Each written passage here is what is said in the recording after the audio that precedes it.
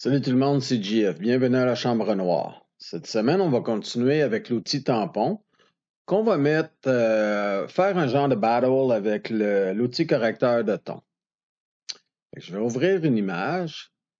cette semaine, ce qu'on va faire, le projet de la semaine, c'est comment enlever les rides. Là, évidemment, c'est comme la chirurgie plastique, il faut faire attention. Il ne faut pas tout enlever. Les gens ont tendance à enlever toutes les rides, c'est plus la même personne. C'est un peu comme quand je regarde Julie Schneider qui se fait remonter le visage à tous les jours puis qui a l'air de sa fille aujourd'hui. Il faut faire attention, il faut y aller dans les nuances. Fait que la première chose que les gens font la plupart du temps avec l'outil tampon, c'est d'arriver et de dire Bon, OK, je prends l'outil tampon. Euh, là, j'ai une bonne largeur, je vais peut-être y aller une petite coche plus large comme ça. Et puis, ils vont aller prendre leur sample, leur euh, échantillon, donc, vous vous souvenez, on garde Alt enfoncé, il y a une petite cible qui apparaît et on clique avec le bouton de gauche. Et après ça, il arrive directement sur la ride qui veut l'enlever, comme ceci. Là, il y a deux erreurs. La première, c'est de travailler sur votre layer de base, qui n'est pas bon, parce que là, on travaille directement sur l'image. Et la deuxième, c'est qu'il n'y a pas de nuance. Là, il n'y a plus de ride du tout, mais on a une belle barre blanche qui est ici. Ce n'est pas du travail de pro. Donc, on va revenir en arrière. CTRL Z. La première chose qu'on doit faire, c'est de créer un layer, un calque. Comme ça, on va pouvoir travailler exclusivement sur ce layer-ci ou ce calque-ci sans affecter notre image de base. Fait que je pars avec la même chose. Je prends l'outil tampon qui est ici. Je prends mon sampling. Et là, j'embarque. Oh, j'ai un petit problème. Il n'y a rien qui se passe. Pourquoi il n'y a rien qui se passe? Parce qu'on travaille sur ce layer-ci. Fait qu'il faut aller dans la case qui est en haut complètement ici, sample, ou en français, j'imagine, c'est échantillon. Et là, comme vous pouvez voir, c'est Current Layer, ce qui veut dire que je travaille sur ce layer-ci exclusivement. Fait qu'il faut cliquer la petite chose qui est à côté, soit choisir ce layer et celui qui est en dessous, ou tous les layers, tous les calques. Moi, je vous dirais que la plupart du temps, je travaille avec tous les calques. Fait que si on ne veut pas se ramasser avec une belle barre blanche ici, ce qu'il faut faire, c'est vraiment de. Vous vous souvenez avec les modes que je vous ai montré dans la dernière capsule, et d'aller chercher Lighten, parce que c'est ce qu'on veut faire. On veut éclaircir la ride. Fait que je clique dessus. Je refais la même chose. Garde mon Alt enfoncé. Je clique pour aller chercher mon échantillon avec le bouton de gauche et je vais doucement passer par-dessus la ride. Comme ça. Comme vous pouvez le constater, ça fait quand même une légère bande blanche ici. Le fait de travailler sur un layers, un calque, me permet, vous vous souvenez, de jouer avec l'opacité qui est ici. C'est exactement ce que je vais faire. Je vais le mettre à zéro, ça c'est sans les changements, et je vais monter graduellement pour faire disparaître la ride mais d'une façon beaucoup plus organique. Parce que le problème, c'est que quand on commence à enlever toutes les rides, ça paraît. Ça n'a pas de bon sens. On se dit, oui, une femme de cet âge-là ou un homme de cet âge-là ne peut pas, pas avoir de rides, ne peut pas avoir la police comme ça.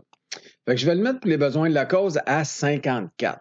Fait que je vais vous montrer avant-après. Ça, c'est au départ. Ça, c'est une fois que je joue avec l'opacité.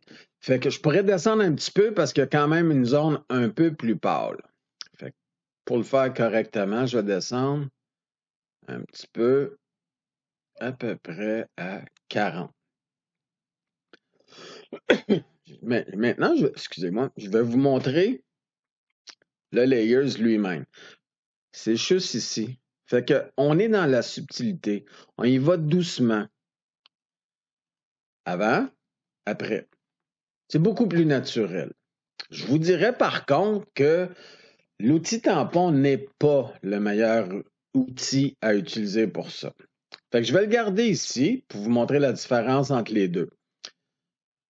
Je l'enlève et je pèse le petit plus qui est ici pour ajouter un nouveau calque.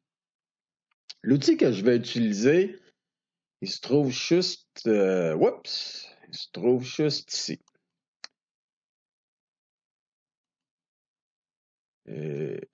OK. C'est l'Ailing Brush Tool ou en français l'outil correcteur de ton. Lui, il fonctionne un peu de la même façon. C'est-à-dire qu'il faut que j'aille chercher un échantillon et il y a aussi le mode qui est ici. Fait qu'on va commencer par le faire directement pour vous montrer quelle sorte de travail que ça fait. fait je garde mon bouton Alt enfoncé, je clique ici et je passe par-dessus la ride jusque-là. C'est pas parfait. On voit que c'est il y a comme une barre ici. Par contre, je peux faire exactement la même chose ici. Jouer avec mon opacité pour aller chercher exactement la bonne façon de faire.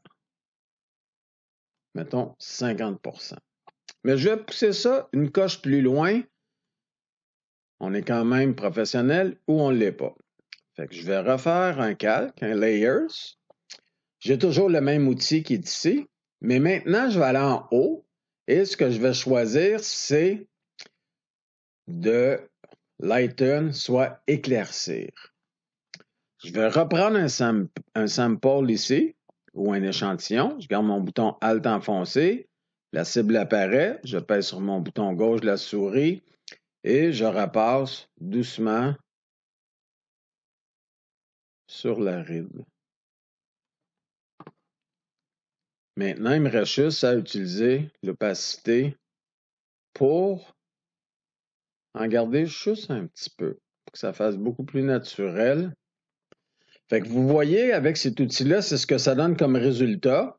Ça laisse une petite ride, ça fait beaucoup plus naturel, et je vais vous montrer l'autre. Il y a toujours comme une petite barre blanche ici. Attendez, je vais changer ça pour qu'on voit l'outil. Il y a toujours comme un petit peu plus pâle. Il n'arrive pas à faire exactement le travail correctement.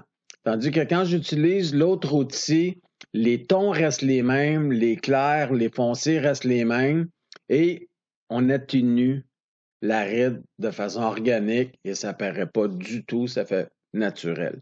Fait que voilà, c'est comme ça qu'on utilise les deux outils. Pourquoi je vous montre le, L'outil tampon, c'est que des fois, l'autre outil, le correcteur de ton, ça ne fonctionnera pas pour une raison X. Fait que c'est pour ça que je préfère vous montrer les deux. Comme ça, vous aurez deux outils pour faire le même genre de travail. Et dépendant des circonstances, ben, vous testez les deux, puis il y en a un des deux qui va faire le travail exactement comme vous voulez. Fait que sur ce, pratiquez. Euh, sortez des photos, enlevez des rides, des poils, des choses comme ça. Amusez-vous. Ce qui est important, je le répète, c'est de ne pas changer la personnalité de la personne, de ne pas prendre le visage de quelqu'un et enlever toutes les rides. C'est pas beau, ça paraît. Faut, les rides, ça fait partie de nous. On peut les atténuer, on n'est pas obligé de les enlever complètement. Fait qu'à la semaine prochaine, on va continuer avec un autre outil correcteur. D'ici là, ciao.